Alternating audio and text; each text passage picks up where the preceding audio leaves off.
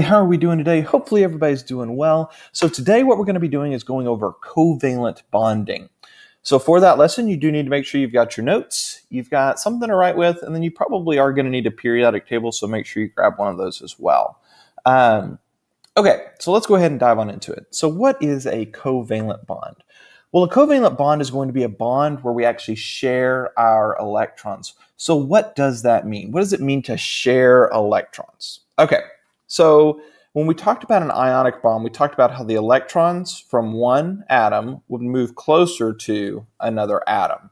And so this other atom would have a stronger attachment to that electron. Now, because of that, because this now has more electrons on it, this becomes negative, this becomes positive. All right. A covalent bond, instead of pulling an electron closer to one side over the other, those electrons are kind of sitting directly in the middle. So they're sharing them. Now, sometimes with covalent bonds, we'll have an electron that moves a little bit closer to the other side. And if that happens, we call it a polar covalent bond. But if we're talking about covalent bonds, we're talking about those bonds actually sharing their electrons. All right. So, Typically, if I'm talking about something like hydrogen bonding with another hydrogen, what do we think? Where, where are those electrons going to be? Well, if they're equally attracted to each other because they've got the same amount of protons, right? Their electrons are going to sit directly in between those two nuclei.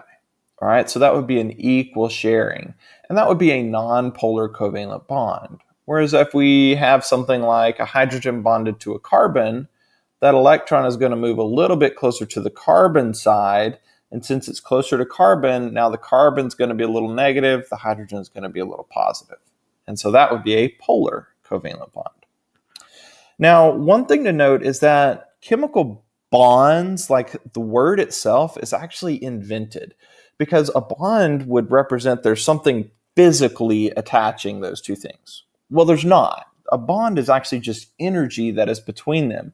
And so when we talk about a bond, that's basically representing that energy that's holding those two atoms together. Okay, so let's keep that in mind. Make sure you recognize that that a bond is not actually a physical thing that's attaching those two things together. Because typically, when you think of a bond, you're like, okay, well, I've got a string and I tie it between one finger and another finger. Well, that would be these fingers are bonded together not they're just naturally attracted to each other, right? So in a bond, when we talk about bonds in chemistry, we need to recognize that that bond is just us trying to visualize what it looks like, how these things actually attach together. Okay, really, it's just energy. So, when we're talking about a covalent bond, we've got three types of bonds that actually form. We've got a single bond, a double bond, and a triple bond. Now, again, that's basically just telling me how many electrons are actually being shared. So if a single bond, if we're talking about a single bond, we've got one pair of electrons, so there's two electrons actually there. A double bond has two pairs, so there's four electrons. And then a triple bond has three pairs, so there would be six electrons. Okay? So what actually happens? I like to think of these as kind of like rubber bands, right? Because if I've got one rubber band, and I put those rubber bands in between eh, that rubber band in between my fingers, it's going to be fairly easy to hold those two fingers apart.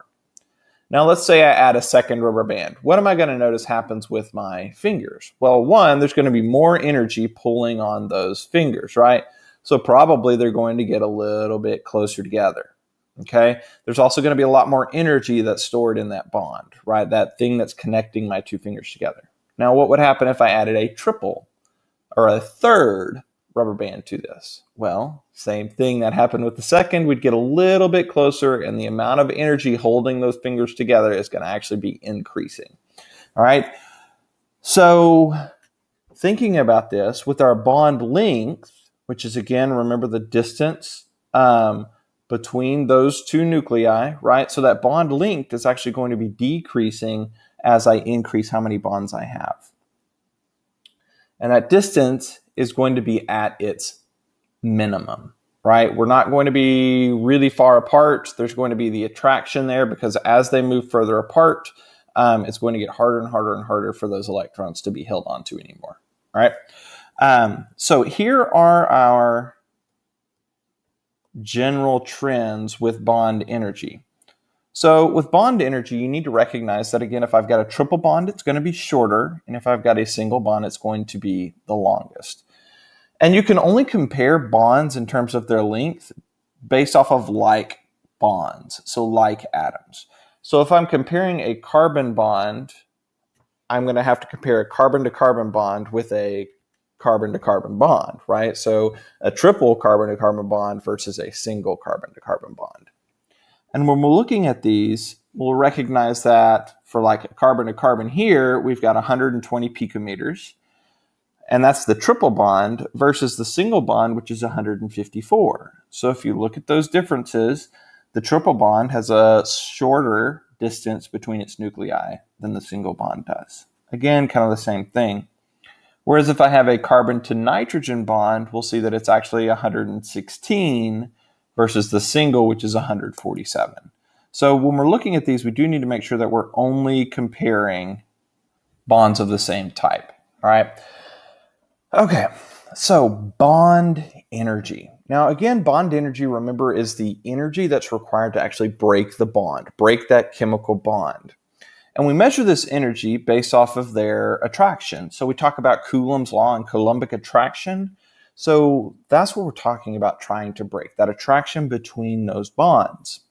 Now, we can use bond energy to calculate the heats that are actually in a reaction. So is it gaining heat or is it losing heat, which is energy, right? So if I'm forming bonds, I'm going to be, remember, forming bonds means we're going to be exothermic. And if I'm breaking, sorry, yeah, exothermic. And then if I'm breaking bonds, it is going to be endothermic, right? I have to absorb energy to cause that bond to break, right? Um, now, it does say right here that your average energies that we have for bonds is going to be found in your book. Um, I will be assigning a book for y'all that is online um, just as an additional resource for y'all to use. Now, right here, I talk about my change in heat. Now, the change in heat is going to be the sum of my bonds broken minus the sum of my bonds that are formed. All right. So I've got my bonds broken minus bonds formed, and that should be my total change in energy. Okay. So here's an example. I've got hydrogen plus oxygen, and it's producing two waters. So how do I actually do this? How do I solve for the bond energy, this change in heat? Well, I'm going to look at first my hydrogen bond here. I know that the bond energy for hydrogen is 436. But if you look at this, I do actually have two hydrogen bonds that are forming there. So I'm going to have to take that number and actually multiply it. So that's what we see right here. So I have 2 times 436, and that represents my two hydrogen bonds there. Next, I have my oxygen. So I look back over here at my table and I recognize that oxygen to oxygen has a bond energy of 498. I've only got one of that oxygen bond, so I'll take that oxygen bond and I will add it to my hydrogen bond over here on the left. So I have 2 times my 436, which is going to be my hydrogen bond, plus the 498, which is my oxygen bond. All right. Now that would be what is on my reactant side, right? So those would be my bonds that are actually going to be broken, right? The bond between those two hydrogens and the bond between those two oxygens. And then I'm actually going to be forming a bond between all of that to make H2O. Now, my hydrogen to oxygen bond energy is 464. So looking back up here, if I have H2O, for each water, I'm going to have one, two, one, two hydrogen to oxygen bonds. Okay, but I do have two water there. So I need to recognize that I have four hydrogen to oxygen bonds. I'll multiply that by my 464 because that's the bond energy. And then I'll take all of that and subtract. Okay, I've got my bonds broken minus my bonds formed.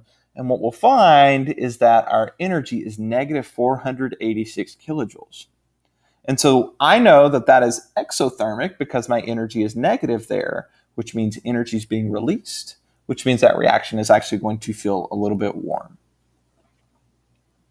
All right. So now let's actually look at how we actually use all of this.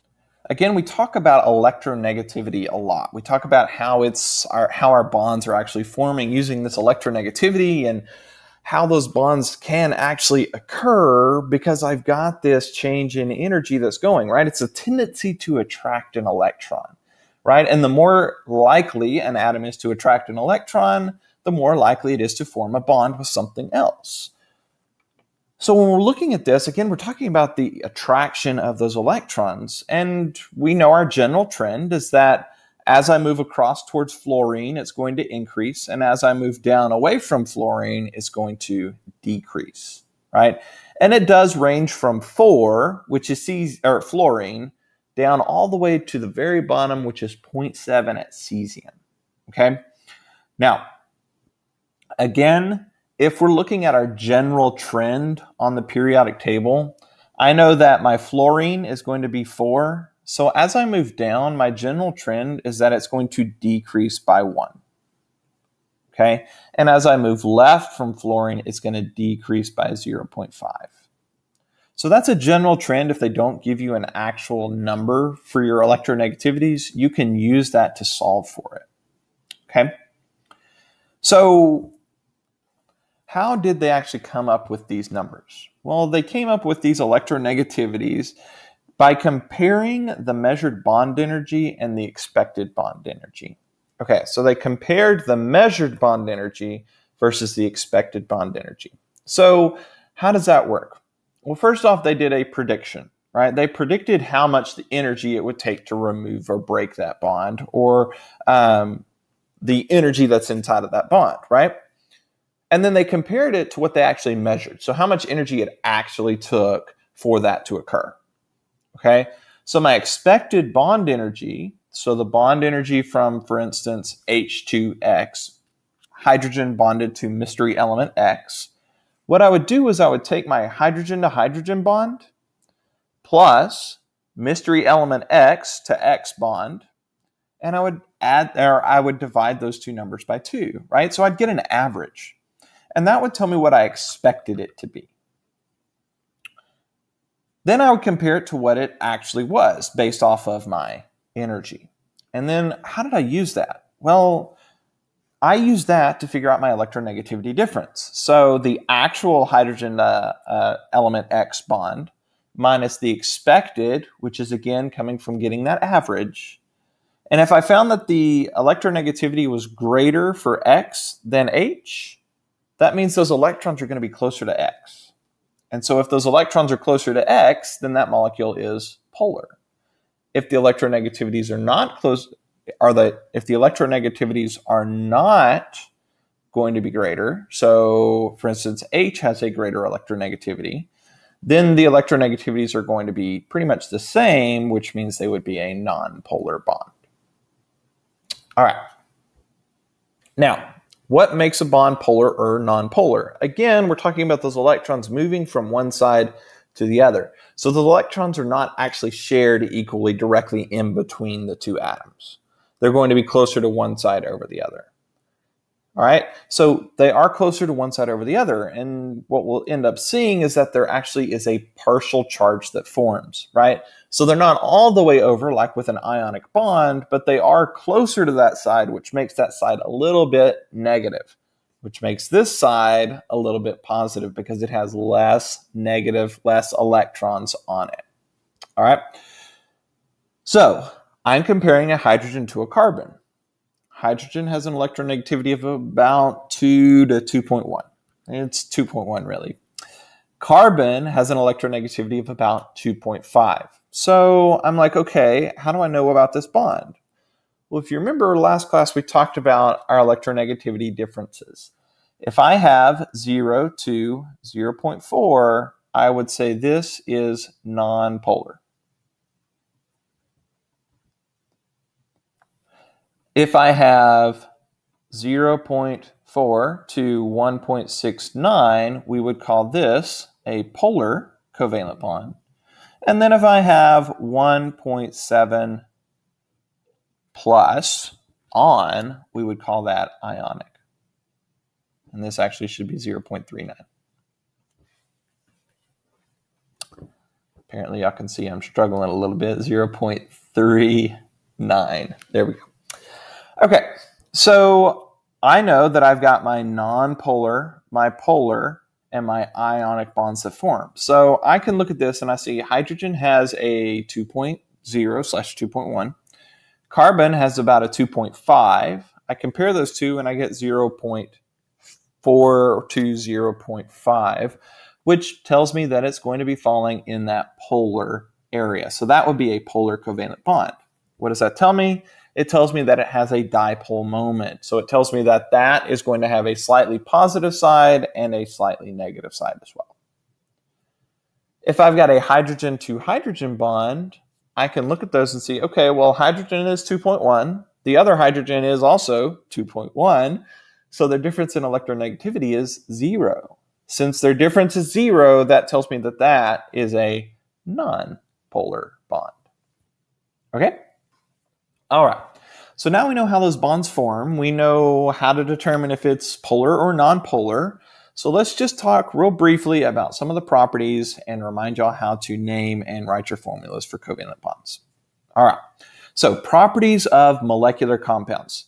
Molecular compound is another way of saying a covalent compound. So First off, we need to recognize that compounds of nonmetals are made of individual molecule units. So what do I mean by that? Well, it means that we've got these chains of individuals that are all kind of floating around, right? So sugar, a sugar molecule does not attach to another sugar molecule. If it did, then we would have a longer chain, which would make us make us have a bigger covalent compound, right? And so when we're looking at these, we need to recognize that with those things, with those molecular compounds, we're not actually going to be forming this continuous chain, right? All right. So solubility in water does depend on their polarity. Again, polarity, we are looking for that dipole. We're looking for that difference of electronegativity between 0.4 and 1.69, all right? The reason that it does dissolve or does not dissolve in water is water is polar. And so a lot of times what we talk about is like dissolves like. So if I've got a polar substance, it will dissolve other polar substances. If I've got a nonpolar substance, it will dissolve other nonpolar substances.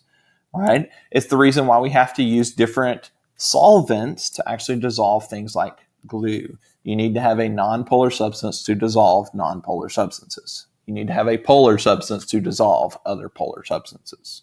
Okay. Now, they do tend to have low melting points and boiling points. Wax is an example of a covalent compound. We know that it's very easy to melt, melt wax.